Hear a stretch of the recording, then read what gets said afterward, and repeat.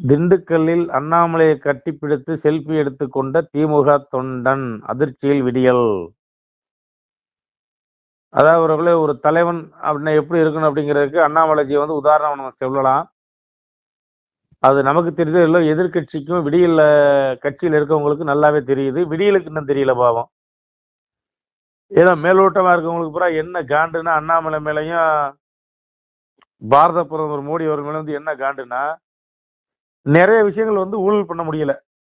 டோட்டலா வந்து தடுத்த மாதிரி ஆகி போயிருது. ரெண்டாவது ஊழல் பண்றதுக்கு ஒரு சூழ்நிலை வந்தா அண்ணாமலைஜி வந்து முன்னாலே வந்து காமிச்சு கொடுத்துறாப்புல இது யாருக்குன்னு கேட்டீங்கன்னா திமுக திமுக இருக்கக்கூடிய மேல் மட்டத்தில் இருக்கவங்களுக்கு தான் சொல்றேன். தொண்டர்களுக்கு நான் சொல்லலை.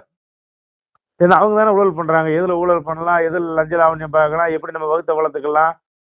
இன்னும் ஒரு ஐம்பது தலைமுறைக்கு எப்படி விடியலோட தலைவர் வந்து எப்படி சொத்து சேர்த்து வச்சிருக்காரு அந்த மாதிரி எப்படி நம்ம சேர்த்து வைக்கலாம்? அந்த ஒரு பிளான்ல சுத்திட்டு இருக்கிறாங்க. ஆனா தொண்டனா இருக்க ஆளுகளுக்கு வந்து இன்னைக்கு வரைக்கும் வந்து நமக்கு தெரிஞ்ச வரைக்கும் இப்ப, எண்பது வயசுள்ள முதியோர்கள்ல இருந்து அத்தனை பேர் வந்து நிறைய பேர் இன்னும் வாழ்க கருணாநிதி திமுக வாழ்கன்னு சொல்லி கோஷம் போட்டுட்டு இருக்கிறாங்க. ஏதாவது வாய்ப்பு கிடைக்காதான்னு கிடைக்காது.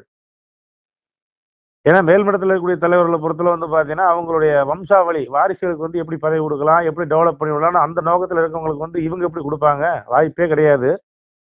வேலையில் சம்பளம் இல்லாத ஒரு வேலைக்காரன் அவ்வளோதான் தொண்டருங்கிற பேரில் இருக்கக்கூடிய வந்து சம்பளம் இல்லாத வேலைக்காரன்.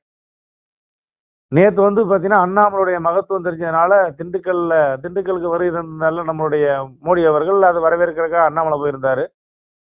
அண்ணாமலை கிட்ட வந்து திமுக ஒரு தொண்டனா இருக்கக்கூடிய சாதாரண நபர் வந்து பார்த்தீங்கன்னா காரில் வந்துட்டு டக்குன்னு கார் நிப்பாட்டிட்டு வந்து அண்ணாமலையை கட்டி பிடிச்சி செல்ஃபி எடுத்துக்கிட்டாரு. காரணம் என்ன சொல்றாரு? உங்களை மாதிரி இளந்தலைவர்கள் வந்து நாங்கள் பாராட்டுறோம் ரொம்ப வரவேற்கிறோம் ரொம்ப அருமையா வந்து உங்க பேச்சு நடவடிக்கையெல்லாம் ரொம்ப அருமையா இருக்கு அப்படின்னு சொல்லி அண்ணாமலைஜியை வந்து பாராட்டி இருக்கிறாங்க. ஒரு பான சோத்துக்கு ஒரு சோறு தான் பதம்.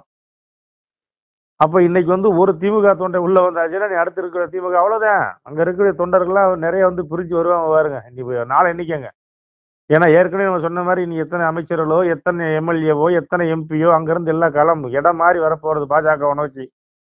ஏன்னா இவங்க வந்து திண்ட வீட்டுக்கே வந்து உண்டகம் செய்வாங்களோ குந்தகம் செய்யற மாதிரி.